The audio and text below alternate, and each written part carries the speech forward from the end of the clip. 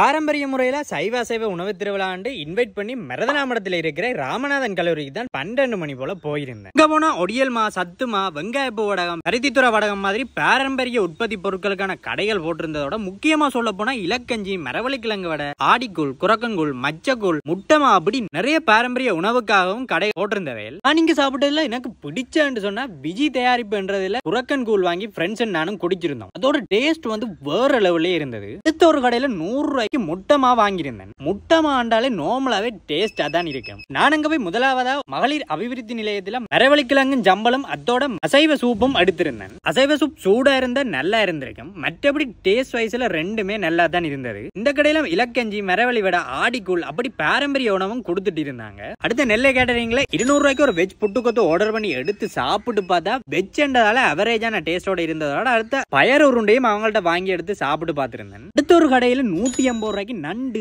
ராலெல்லாம் எல்லாம் போட்டு சுட சுட மச்ச கூழும் வாங்கி குடிச்சிருந்தேன். கடைசியா கேக் ஷாப்ல அறுபது ரூபாய்க்கு சாக்லேட் கேக்கும் வாங்கி ட்ரை பண்ணிருந்தேன் இந்த உணவு திருவிழால குறைவான கடைகள் தான் போட்டிருந்தவை ஆனா உணவுகளும் சரி உற்பத்தி பொருட்களும் சரி எல்லாமே பிரியோசனமா தான் போட்டிருந்தாங்க. நீங்க யார் யாரெல்லாம் இந்த உணவு திருவிழாவுக்கு போனீங்க ட்ரை பண்ணிருந்தீங்கன்னு கமெண்ட் பண்ணுங்க.